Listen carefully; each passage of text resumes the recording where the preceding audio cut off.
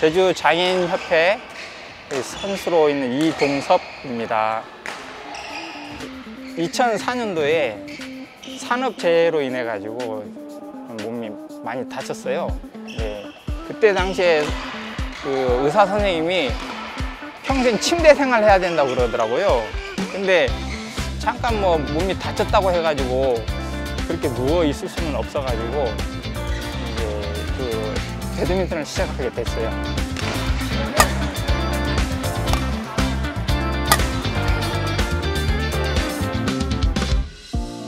이번 그 패럴림픽이 처음이었거든요. 그래도 우리 저 그 배드민턴도 어, 올림픽 종목에 처음 채택된 종목이라서 아뭐다 다른 사람들도 그런 뭐 큰 인식을 못했던 것 같아요. 그 그런 패럴림픽에 나간다는 그런 저그 광고 같은 것도 없었기 때문에 어, 그런 게 많이 부족했던 것 같습니다.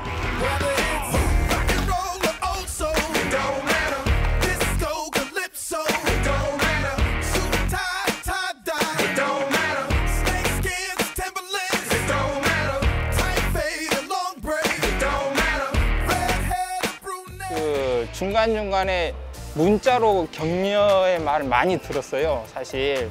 근데 제가 패럴림픽에 가면서 어깨 부상이 있었어요, 팔꿈치하고. 예, 저는 못할 줄 알았거든요.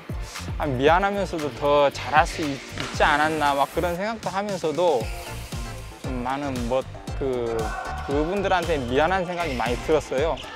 사실 뭐 제가 그 패럴림픽에 나온 선수 중에 고령이에요. 그 나이에 비해 너무 랠리를 오래 하다 보니까 저한테 껌이라고 그래요. 너무 끈적거린다고. 예, 그 선수들이 그것 때문에 지쳐가지고 더 못하겠대요. 저하고 붙으면. 저 제발 저하고만 안 붙었다 그런 거- 그런 별명을 지어주더라고요. 저도 중도 장애지만 많이 힘들어요, 사실. 그렇지만은 좀 창문을 열고 잠깐 밖을 한번 보시면은 좀 마음가짐이 좀 달라질 거라 생각합니다. 저도 많이 그랬었으니까요. 저도 밖에 안 나왔을 때는 어떻게 사나 그런 고민도 많이 했는데 나 보니까요. 뭐 틀릴 거 없어요. 똑같아요. 음, 재밌습니다. 밖에 나오면 사실.